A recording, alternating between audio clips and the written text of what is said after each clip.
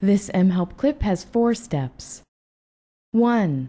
Click the Office button. A menu will appear. 2.